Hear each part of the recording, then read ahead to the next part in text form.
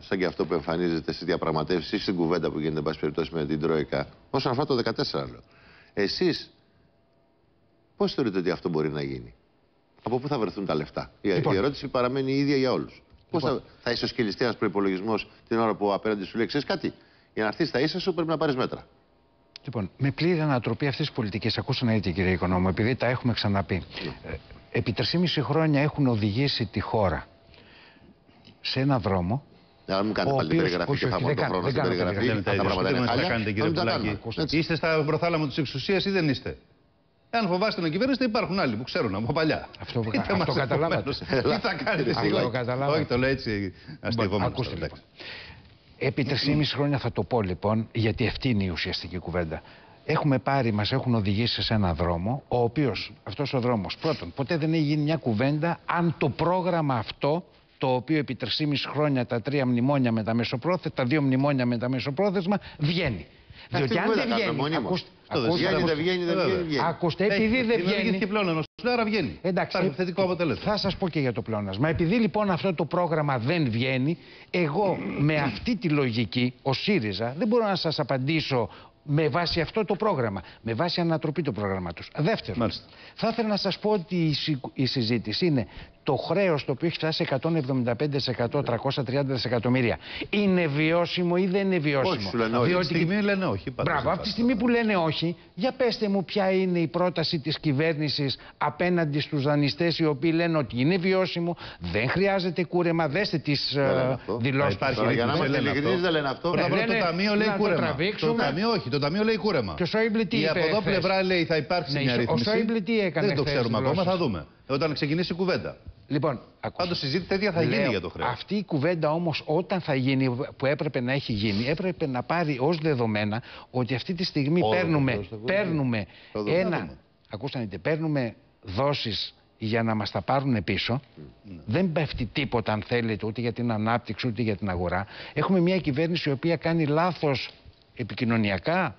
Το κάνει, το κάνει γιατί είναι ανίκανη και υπολογίζει ότι είναι ένα δισεκατομμύριο το κενό του 14 και έρχονται και τις λένε τρία. Υπολογίζει ότι είναι 14 δισεκατομμύρια το 15 και είναι 17.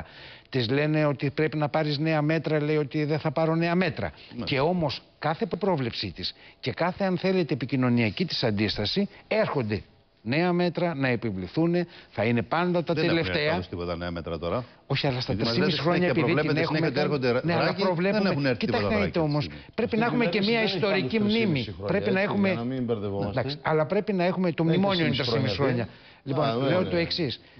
Το ίδιο. Πρέπει να Ούτε δύο έχουμε... δεν Ε, το ίδιο. Πρέπει Πρέπει να να έχουμε. έχουμε- Συνέχεια, η μία πολιτική της άλλης. Κύριε Οικονόμου, πρέπει να έχουμε ιστορική μνήμη. Σε Ναι. αυτή τη θέση έχουμε έρθει και πριν από τέσσερις μήνες και πριν από πέντε μήνες και πριν από ένα Στην χρόνο. πίεση, λέτε, της και Τρόικας. πάντο γυρνάμε και λέμε ότι η κυβέρνηση, ο εκδεξιών ε, συνομιλητής λέει δεν θα πάρθουν νέα μέτρα και ο εξαριστερών σας λέει ότι θα πάρθουν και πάντοτε δικαιώνεται ως πρόβλεψη διότι τα νέα μέτρα έρχονται. Άρα αυτό ας το κρατήσουμε ως ιστορική μνήμη, διότι από τη στιγμή που δεν βγαίνει το Νέα πρόγραμμα. οριζόντια μέτρα λέει η κυβέρνηση. Τώρα κάποια μέτρα θα υπάρξουν. Δεν γίνεται. Τι λεφτά δεν βρέχει από πάνω. Ναι. Από κάπου πρέπει να βρεθούν τα λεφτά. Θα είναι από αναδιάρθρωση. Θα είναι από κλείσιμο δημοσίου. Θα είναι έτσι. θα- Κάπου Και θα να είναι. δούμε και τα τελευταία Λεφτά δεν υπάρχουν στοιχεία. στον δρόμο. Εχθές βγήκε λοιπόν ε, η Ελληνική Στατιστική Υπηρεσία και τι μας είπε; Μας είπε λοιπόν δύο πράγματα. Πρώτον, ότι μειώθηκε το τελευταίο τρίμηνο του 2013 κατά 3,7 δις η κατανάλωση. Προσέξτε αυτό τι σχέση έχει με την πραγματική οικονομία. Αυτή είναι η πραγματική οικονομία. αυτός δεν- Αυτό είναι το ότι παραδείγματος χάρη δεν μπορεί να υπάρξει ανάπτυξη. Όλα αυτά τα που λέγονται σαν υπάρχουν λεφτά να ξεστόριο πέσουν στην αγορά, δεν υπάρχει δραχμή.